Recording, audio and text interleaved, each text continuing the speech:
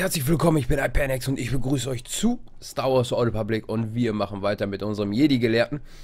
Ähm, wir müssen zum Axialpark, das heißt also, wir müssen uns auch mit dem Transporter fortbewegen. Das heißt, wir teleporten uns da mal hin. Jo, und los geht's.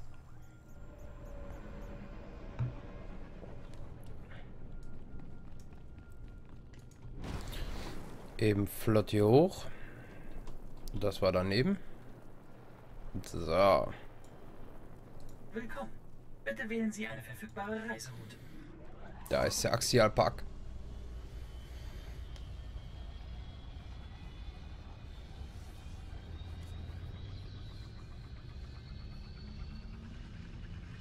Ja, jetzt gibt er richtig Speed, wa?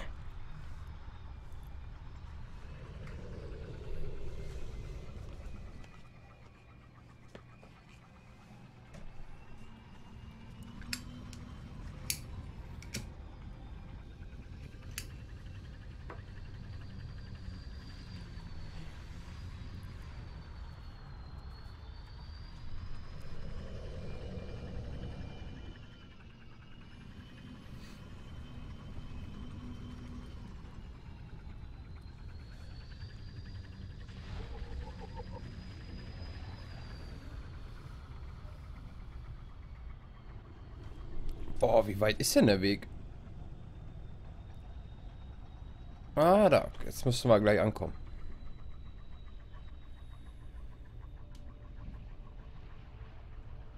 Und da. So.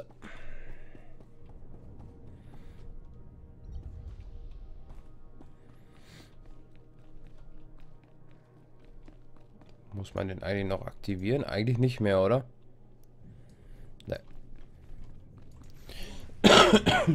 So. Ey, ist ja gar nicht so weit diesmal.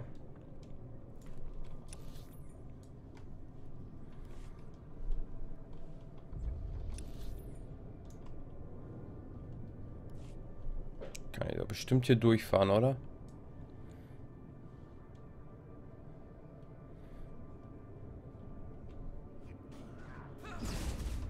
Oder auch nicht. Mann.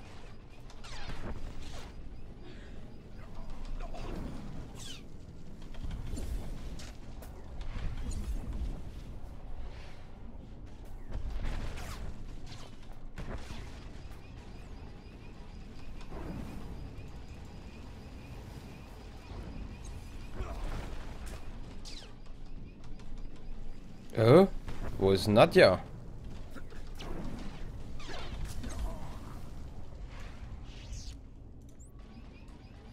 Ich habe meine Gefährtin verloren. Heil mich. Schon okay.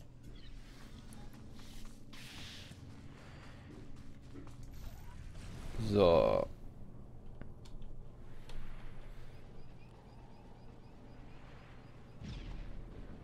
Muss jetzt mal ein bisschen die Augen aufhalten, dass ich nicht jedes Mal in die Gegnergruppen reinfahre. Da steht was. Mein Gott, schieß doch mal auf die. So. Immer weiter, immer weiter, immer weiter. Wo seid ihr alle? Da geht's rein. Da ist die Versammlung.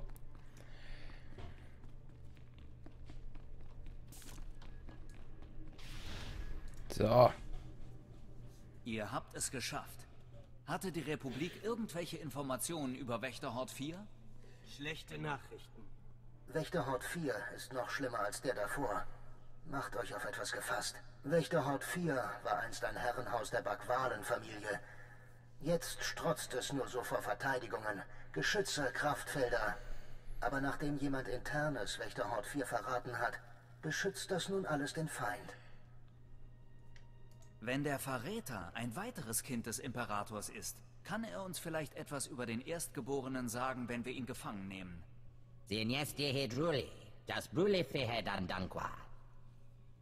Die Republik hat uns Informationen über die Verteidigungen von Wächterhort 4 besorgt. Sie sind gewaltig. Erstens hat der Hort ein Warnsystem. Sensoren im ganzen Park melden sich nähernde Feinde. Dann beschützt ein Kraftfeld den Innenhof. Und anschließend folgt die Haupttür aus Durastahl. verriegelt durch ein komplettes Sicherheitssystem. Wir müssen also die Sensoren erledigen, das Kraftfeld ausschalten und die Haupttür entriegeln. Dieses Kraftfeld ist ein Problem. Ich weiß nicht, wie wir daran vorbeikommen sollen. Zerstört die Sensoren, Jedi. Die Imperialen werden das Kraftfeld ausschalten, um nachzuschauen. Ein Überraschungsangriff könnte unsere Armeen dann am Kraftfeld vorbeibringen. Also brauchen wir ein Einsatzteam, das die Imperialen aus dem Hinterhalt angreift, nachdem das Kraftfeld unten ist. Team Rot. Team Rot muss stark sein. Die Imperialen werden hart kämpfen.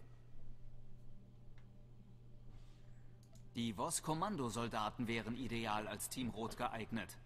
Sie werden gut kämpfen. Bleibt nur noch die Haupttür. Wenn das Kraftfeld ausgeschaltet ist, können wir die Energiegeneratoren erreichen. Wir schalten sie aus und die Tür öffnet sich. Wir sollten ein weiteres Team damit beauftragen, die Generatoren auszuschalten. Team Blau. Eine sehr kleine Gruppe würde ausreichen. Eure Droiden können die Sicherheitsvorkehrungen ausschalten. Wir können ein paar erübrigen. Die Teams werden euch brauchen. Team Blau braucht Rückendeckung. Team Rot braucht Unterstützung im Kampf. Wir haben einen Plan. Sobald ihr die Sensoren zerstört habt, geht zu Wächterhort 4, um eurem Team zu helfen. Seid ihr bereit? Das bin ich. Und möge die Macht mit uns sein. Signeste Hedruli, das Fehe Dandankwa. Okay, Wir haben einen Plan. Und den ziehen wir jetzt knallhart durch.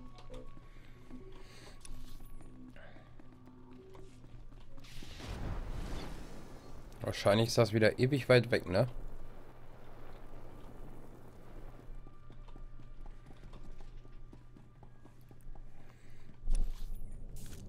Na, es geht.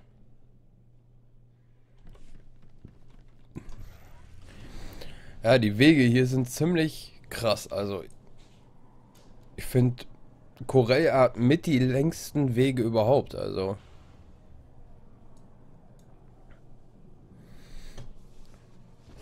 ich sag mal so, früher, als, als ich angefangen habe, der erste Planet, der mich so richtig abgefuckt hat, war Nashada. Ne, Nashada nicht. Äh, Tatooine. Tatooine.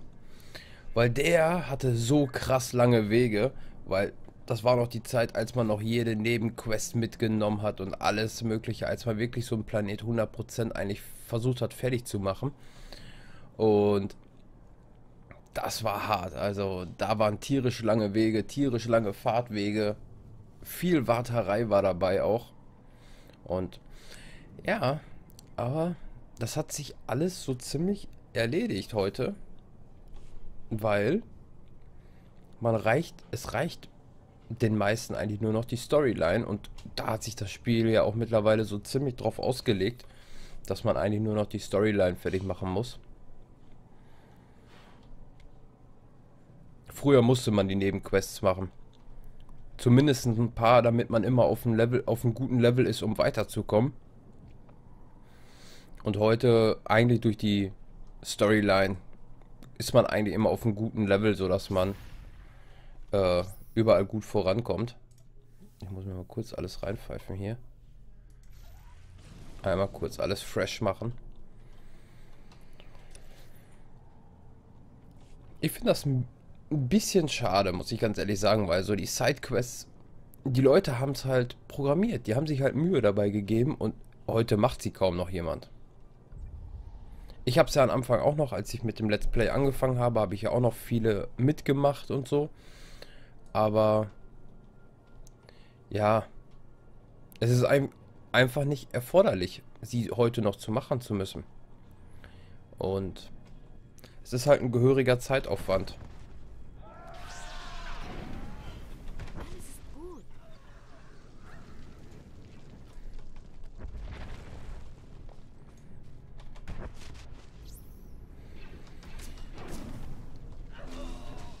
Weil die Sidequests nehmen wirklich eine ganze Menge Zeit in Anspruch. So, das war Sensor 1. Fünf Stück brauchen wir. Wo ist der nächste? Da.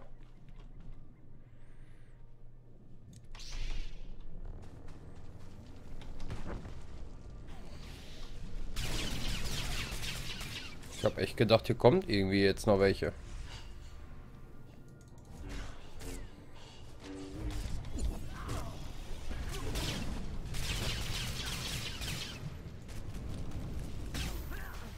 Ich schmeiß mit Steine.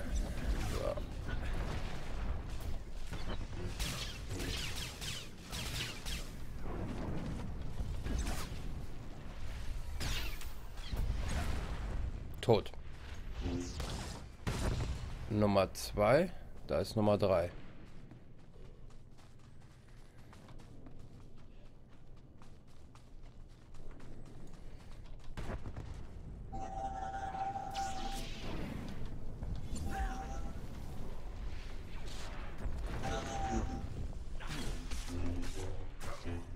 Zack, zack.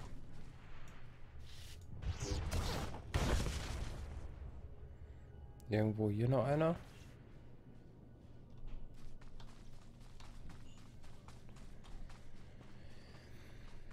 Hm. Mal von hier oben gucken.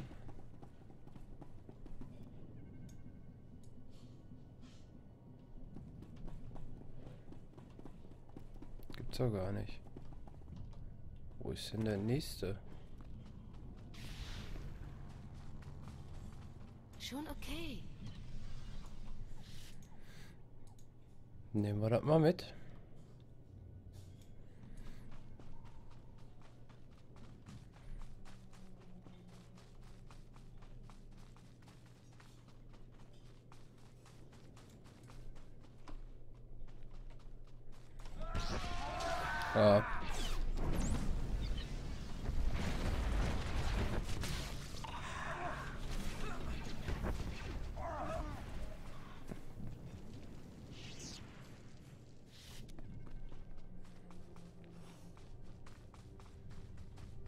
Sind die denn alle? Ja, da ist auf jeden Fall wieder einer da.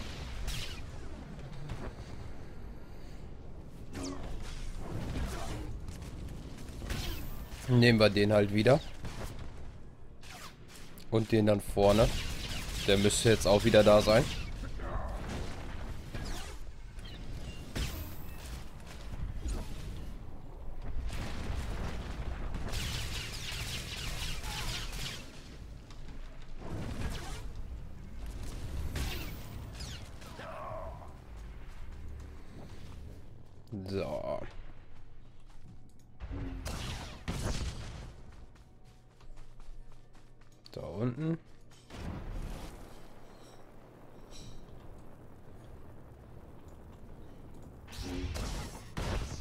Jetzt haben wir alle fünf.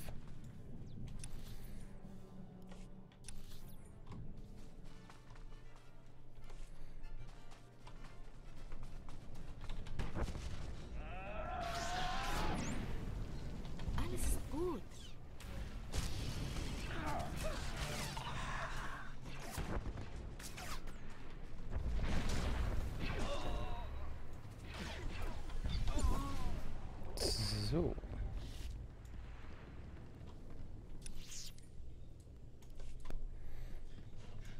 Da geradeaus müsste es sein.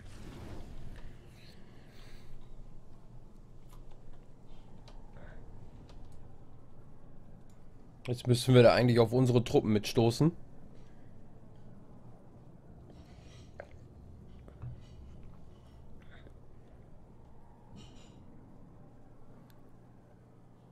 Cool wäre das jetzt so gewesen, wenn da jetzt, wenn wir da jetzt unsere Truppen auch schon gesehen hätten.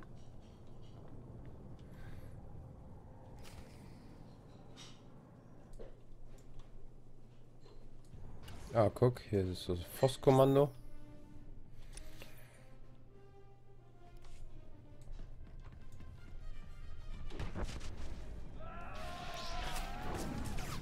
Jetzt erstmal langsam.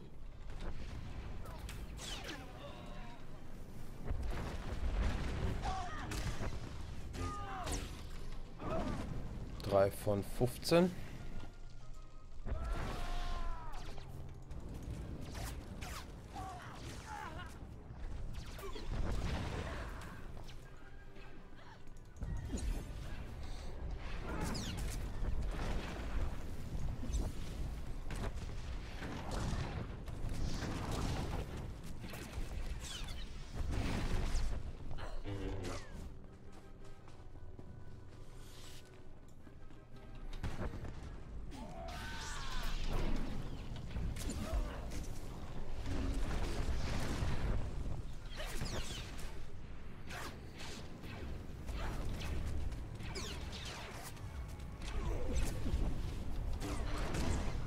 So, da haben wir schon mal 7 von 15. Da ist auch noch einer drauf. Du denkst, du bist gut geschützt, aber.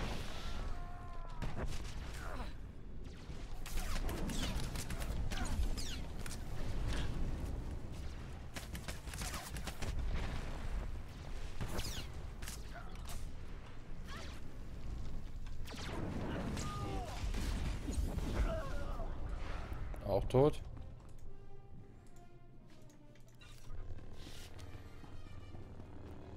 Oh.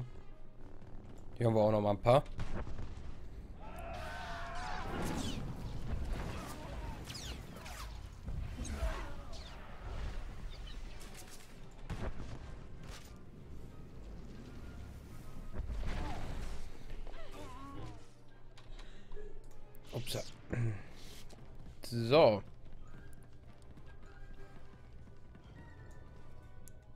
Oben sollten jetzt eigentlich reichen.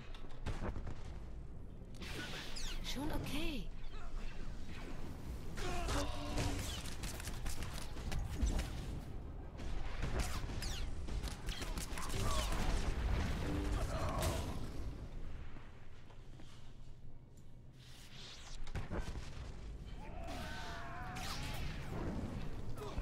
Unsere Droiden melden, dass das Sicherheitsnetz ausgefallen ist.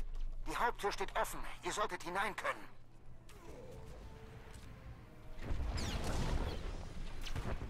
Na komm, dann geh auch hops.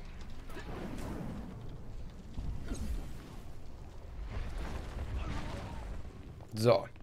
Dann jetzt mal schnell rein.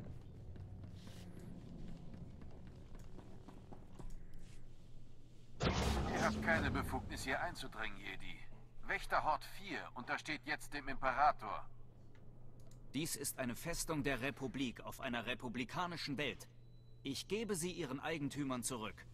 Obwohl einer der Euren uns hier willkommen geheißen hat. Wir sind die imperiale Garde, die Auserwählten des Imperators. Wir leben und sterben, wie er es befiehlt. Sein Erstgeborener wird unseren Sieg sichern.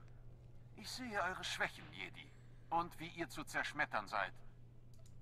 Ein wahrer Jedi versteht es sich zu biegen, so dass er niemals bricht.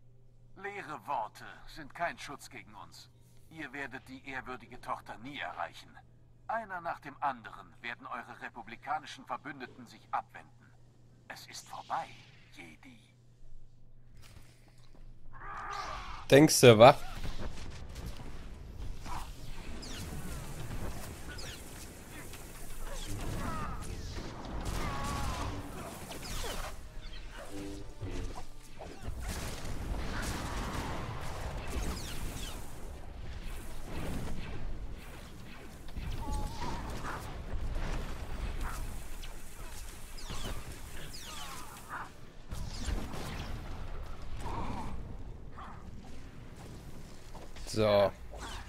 Machen wir mal ein bisschen Mürbe.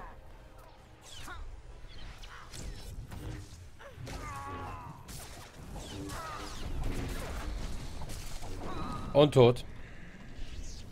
Keine Chance, Herr Penner. So.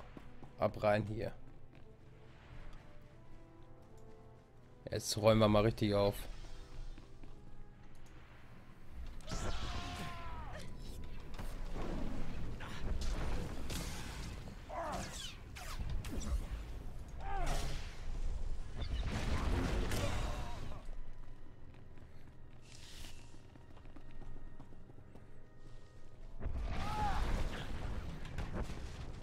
Jetzt erstmal langsam.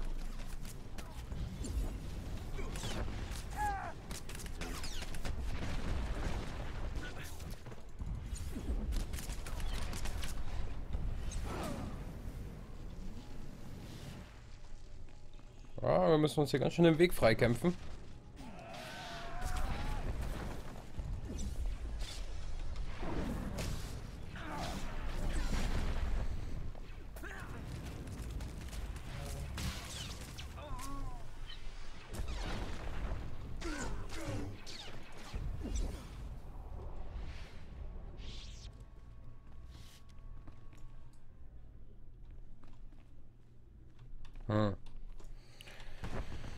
Lieber kämpfen, bevor der gleich sich in den Kampf mit einmischt.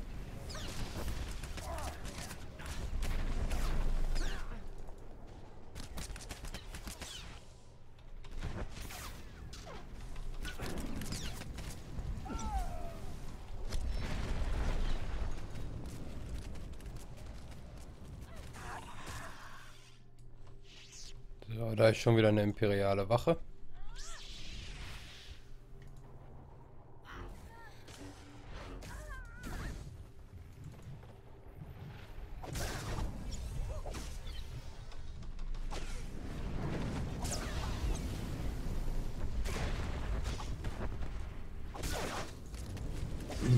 Ich muss aber ganz ehrlich sagen, ich hätte mir jetzt die imperialen Wachen schwieriger vorgestellt. Also.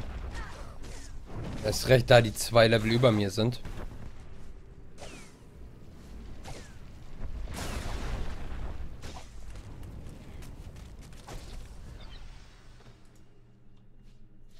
Aber die geben verdammt gut Erfahrungspunkte. Mein Bruder sagte mir bereits, dass ihr hartnäckig seid. Dennoch habe ich beinahe gehofft, dass wir uns begegnen würden. Verzeiht meine Direktheit gegenüber einer, einer Tochter des Imperators. Aber ihr solltet euch nicht in Gefahr bringen. Aber General, das ist eine Gelegenheit, mit dem Barsentor persönlich zu sprechen. Ihr wurdet tatsächlich vom Erstgeborenen selbst unterrichtet. Mein Mentor war Meister Sio Bakam. Ein Jedi-Meister und Vertreter des Guten. Und euer Erstgeborener hatte nichts damit zu tun. Man muss neue Loyalitäten akzeptieren, so wie sie sich ergeben. Seht mich an. Ich war ein unbedeutender Corporal der Republik, bis die Stimme des Imperators mich rief. Ich wurde wiedergeboren. Wächter Hot 4 kam mir im Gegenzug wie ein mickriges Geschenk vor. Wenn ihr wirklich lernen wollt, steht euch der Weg eines Jedi offen. Ihr verlangt, dass ich meine neue Familie verrate? Oh, ich weiß, was meinem Bruder gefallen würde. Euch gedemütigt zu sehen. Ich könnte noch so viel von euch lernen. Besonders, wenn ich euch am Leben lasse.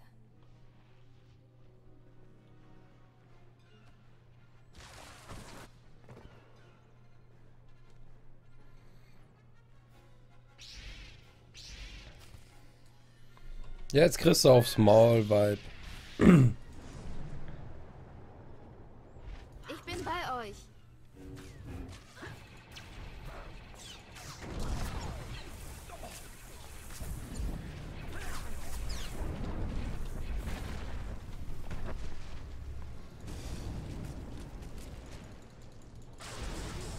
Oh, Todesfeld.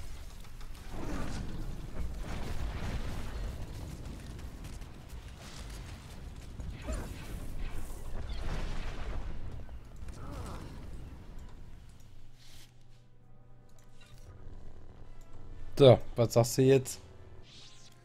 Sprechen wir über die Bedingungen, meine Herren.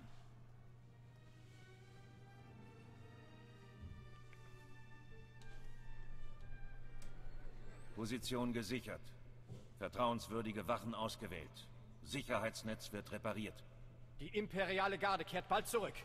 Noch einen Ansturm überlebt ihr nicht. Wir müssen diese Position nur halten, bis wir den Erstgeborenen gefunden haben.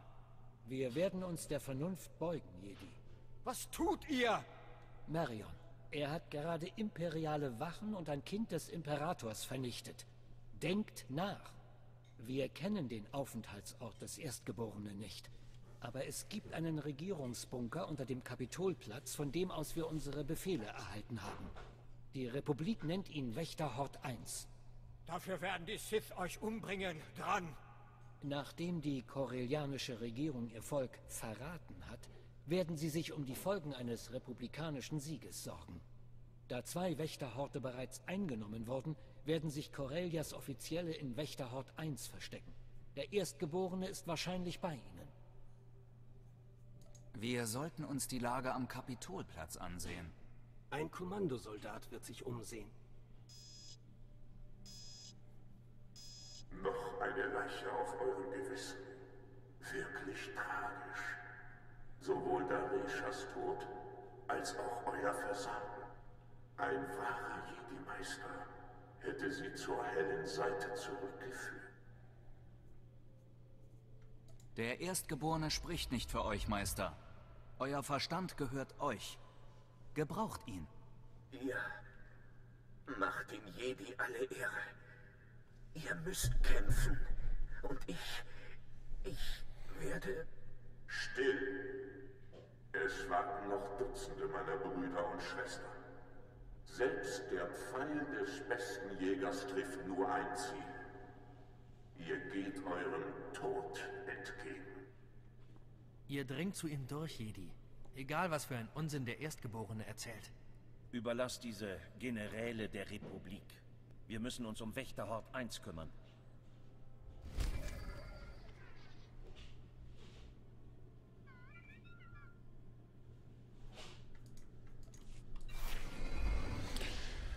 Okidoki, das war's heute mit der Folge. Eine etwas längere Folge als sonst.